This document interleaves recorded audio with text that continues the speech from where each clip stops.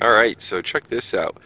Here I am at Bates College, directly across the street is the Lewiston Middle School, and I just wanted to check it out. I just wanted to see if there's like any signs that said anything about, you know, people charging their cars here, if, if this required a credit card or, or anything like that. But to my surprise, I, I mean, I just went ahead and I, I plugged it in and it started charging.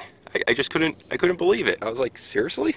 There's no no credit card, no no nothing. Is this just like are we just really really trying to promote electric vehicles? I mean, that, it looks to be the case, but I am currently plugged in right now, and to my surprise, now this is a level two. I've I have not done a level two before. I've only done level one and then the DC fast charging last night. But you can see right now, I am 43% charged, and it is charging because up here, my uh, LEDs are blinking. So, so that's cool. And if I scroll through, oh look, 44. It just went from 43 to 44. And my miles continue to go up.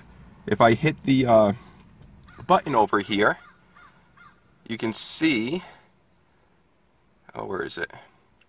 Right here. So I'm on a 240 right now.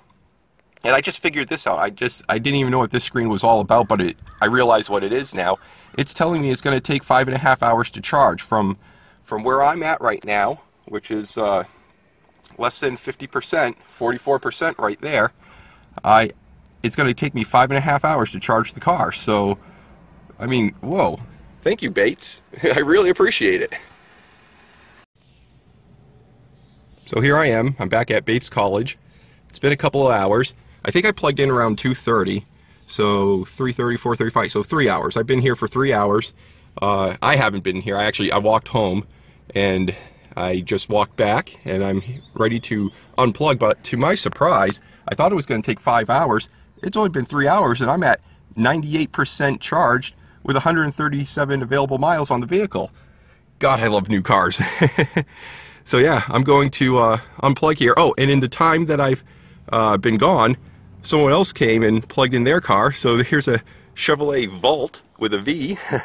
so they're plugged in. So yeah, I, am definitely going to uh, unplug here so I can make it available for someone else who needs it.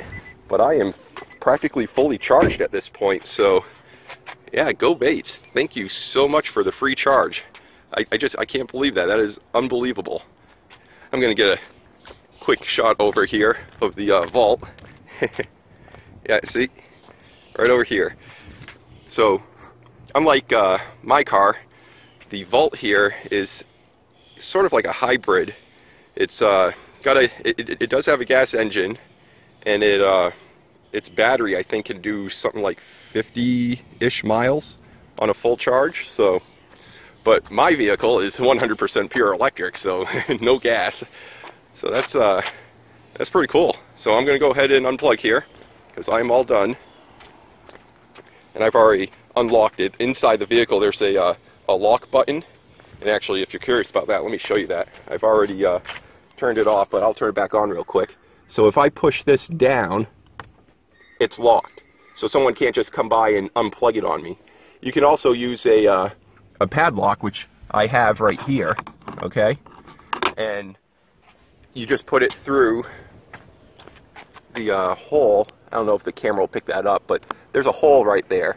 So you can put a padlock on there so somebody doesn't come and push the button and take it out on you.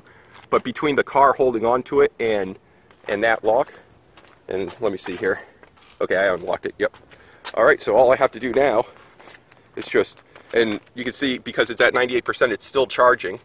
But as soon as I push the button down, that stops the charging. So it's not charging anymore.